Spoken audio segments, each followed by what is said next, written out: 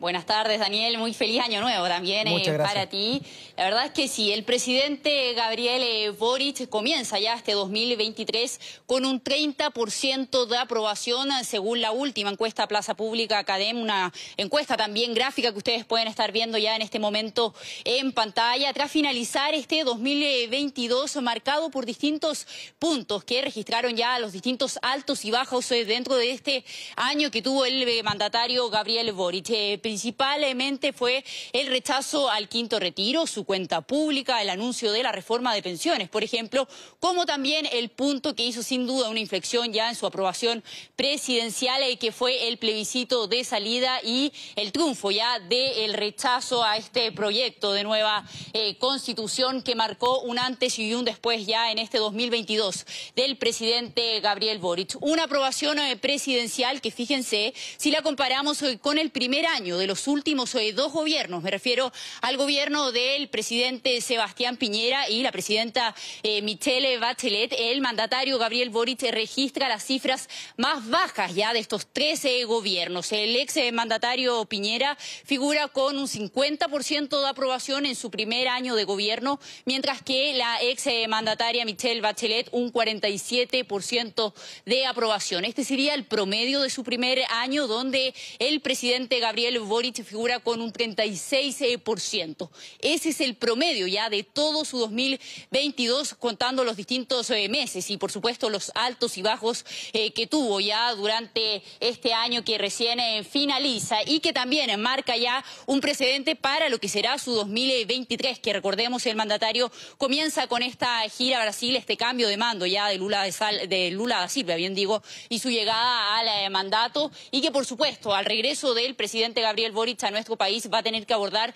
distintos puntos que han marcado la agenda durante esta última semana y que van a marcar ya lo que es este primer eh, mes eh, del año, como por ejemplo la agenda de seguridad, esta mesa de seguridad que está en duda, está en duda la participación de la oposición tras su baja luego de este anuncio de los indultos a 12 personas vinculadas ya al estallido social. En esa misma línea está, por supuesto, ya la tramitación de la reforma que daría paso al proceso constitucional, como también la designación del fiscal nacional que va a ser clave durante esta semana. Recordemos que este miércoles es el plazo máximo que tiene el presidente Gabriel Boric para definir quién será su tercera carta a fiscal nacional y ver finalmente si esta opción tiene ya éxito o no en el Senado en una votación que se debería estar realizando en la, la semana siguiente. Una valoración, de cierta forma, a su primer año que quisieron evaluar desde el mundo político, desde ambos sectores, tanto desde el oficialismo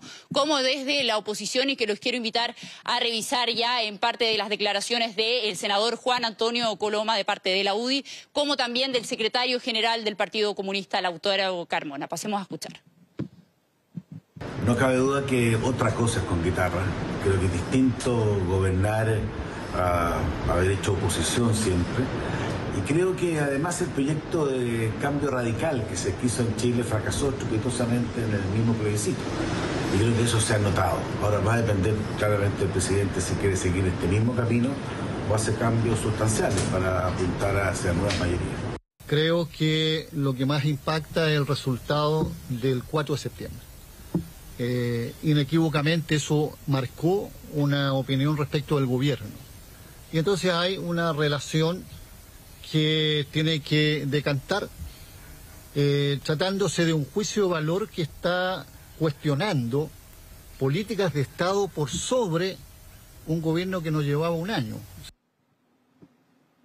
Bien, el punto que ahí marcan los distintos representantes de partidos eh, políticos es sin duda el plebiscito de salida ya y el camino constitucional, entendiendo acá el rol que tuvo el gobierno ya en el proceso de la Convención Constitucional durante el año pasado, pero también el acuerdo que se logró al pasado 12 de diciembre, que se espera ya comience su tramitación de forma oficial, se apruebe ya durante, las, eh, durante esta semana, bien digo, para poder dar paso ya así a lo que serían la designación tanto de los expertos como ya dentro de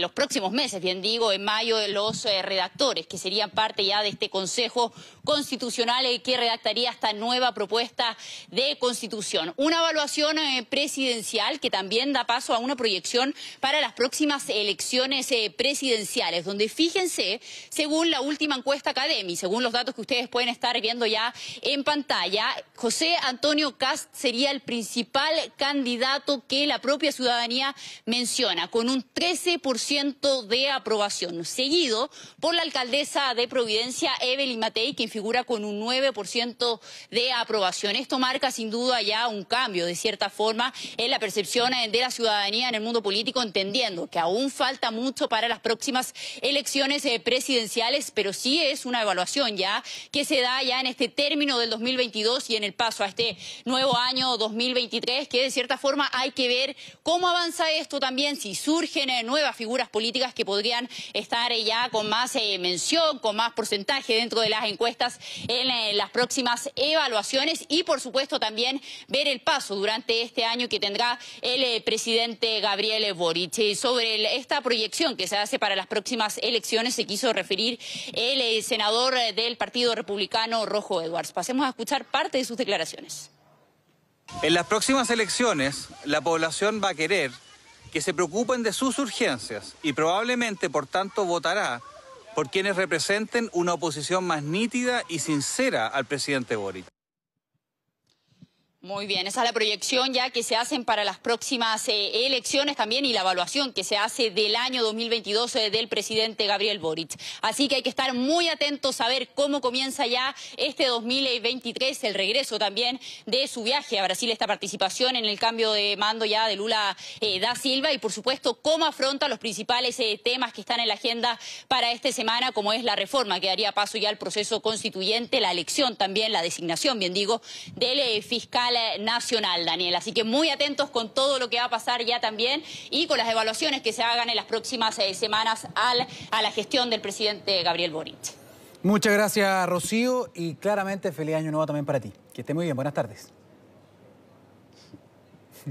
Buenas tardes, que estés bien.